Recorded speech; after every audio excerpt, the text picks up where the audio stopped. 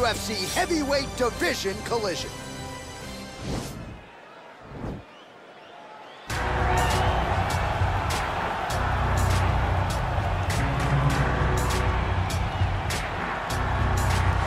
Well, this is about as decorated a kickboxer as has come into this division in some time, DC. And if we get a kickboxing match tonight, he ain't losing. He is a championship level kickboxer, a guy that can stand in the pocket and trade and kick and punch with anyone.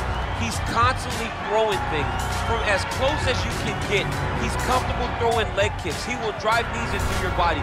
But it's the aggressiveness and the ability and willingness to stand in the pocket and trade that makes him truly, truly special. I think that is what separates kickboxing, the high level Yeah. Everyone else. He understands distance as well as any striker in this division. Of course, that is a byproduct of a lifetime of repetitions in the kickboxing space. All right, so here he is, Khabib Nurmagomedov. His future, in all likelihood, is in the UFC Hall of Fame, but his present is this fight right now, once again taking on a fellow top 10 155-pound fighter. And when you've done everything that Khabib has done, that's all you see, is the best the business has to offer. Yeah. And after the McGregor fight, his star shined more brightly than he ever could have imagined. I know how humble Khabib is. I know how much he loves to live in uh, privacy. Right. I understand that. But when you beat a Conor McGregor in the way that he did, he became an international icon. And it shows as you watch him in his pursuits of, of just opportunities and everything. But nothing is available to Khabib if he does not take care of Right. business in this octagon. And every time he steps foot there, he does exactly that. One of the most dominant fighters the UFC has ever seen. Going into that Conor McGregor fight, UFC 229, October of 2018, had about 4 million Instagram followers. Yes. How about 15 million? You got some catching up. I mean, the next day he was up to 10. It was unbelievable.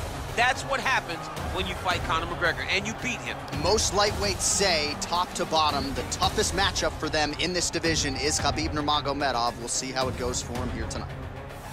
Ladies and gentlemen, this is the main event of the evening. And when the action begins, our referee in charge of the Octagon, Dan Miragliotta. And now, this is the moment UFC fans around the world have been waiting for. Live from the T-Mobile Arena in Las Vegas.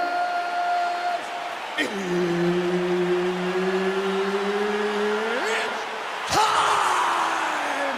Five rounds in the UFC heavyweight division. Introducing first, fighting out of the blue corner. This man is a kickboxer, making his professional debut here tonight.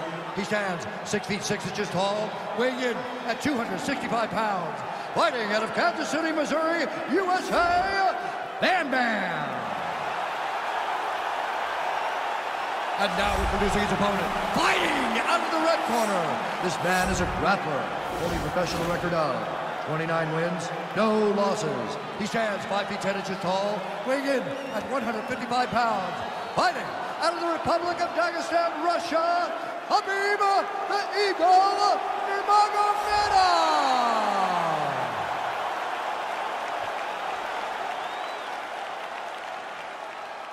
All right, commit to the rules of the locker room. I want you to obey my commands at all times, protect yourself at all times. I want a nice, clean, safe fight. Touch gloves, back your corners, come out fighting.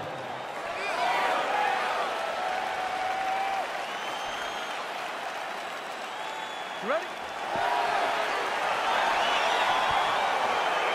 Okay, you ready? All right, so here we go with round one, and when you have what looks like a classic matchup of striker versus grappler, it doesn't always play out that way, but given what these fighters said to us on Thursday, the game plan seemed pretty clear. They're very clear game plans, but which one of them is able to implement the game plan most of Oh, he's hurt bad. He's hurt bad, John. He's got to press him. He's got to go chase that finish down now. Whoa! Oh, man, this ground and pound is good. Probably my favorite striking realm in MMA, and he's as good as it gets. The problem is his opponent is not controlling his posture. He's allowing his opponent to get up, and when he does, creates this space to land these beautiful ground pound combinations. block there. Nice punch lands over the top. And both guys really throwing with authority. Yeah, he fixed it all up. Try to establish that jab. Over and over, he landed a big body kick. Three minutes and counting to go here in round one. And potentially a critical takedown here. Got the single collar tie. Big, powerful punch lands. Now he gets back in range. Look at him yank the head and land that beautiful punch from the clinch.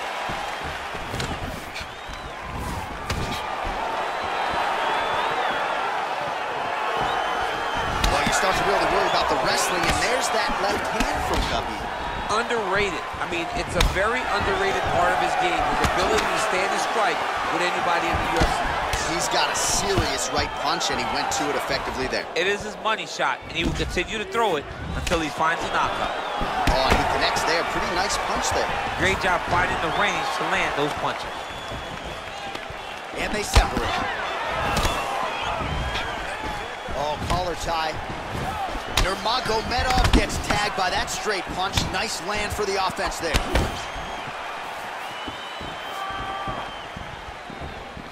Straight right hand, no good. He's had a huge strike right there. I'm not sure how many more of these his opponent can take. Massive shot that he landed. Great job.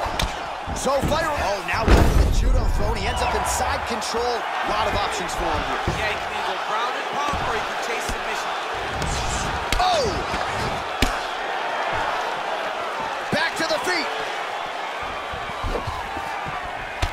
that's a nice kick right there. He's doing a great job of landing that kick over and over. Oh, big knee there.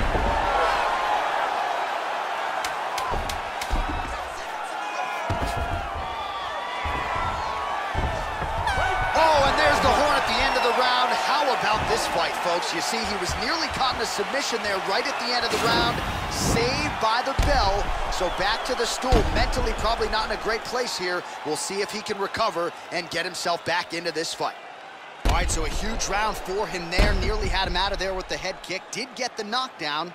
Talk us through the replay. He got the knockdown. He won the round. He did everything correct. The only thing he didn't do is finish the fight. But if he continues down the path, if he continues to do the exact same thing as he did before, he will get that finish. Listen, hey, focus, focus. Okay, okay, rock. What happened? Listen, next time we come out. Okay, round two, you ready? You ready? All right, here we go with round two. All right, he'll engage in a single collar tie. Well, we talked about that reach advantage as you see him land the straight punch there. Great job using his leg. That huge strike lands there. Somehow, his opponent stayed upright. I mean, he's still on his feet, but he's not up by much.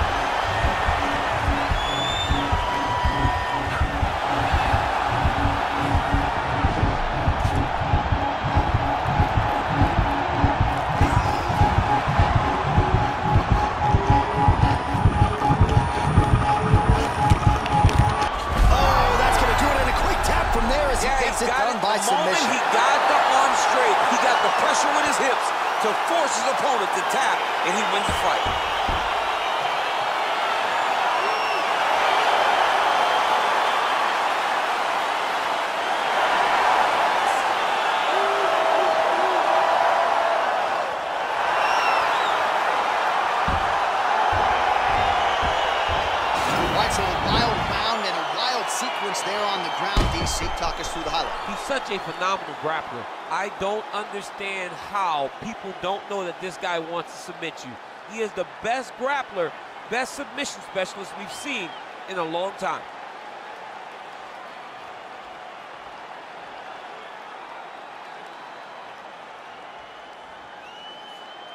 So there he is, your winner by submission, and that's exactly how you put the rest of this division on notice.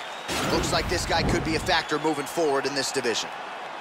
Ladies and gentlemen, referee Dan Miragliotta calls a stop to this contest at 1 minute, 24 seconds of round number two, declaring the winner by tap out due to an armbar, Khabib the Eagle Nurmagomedov.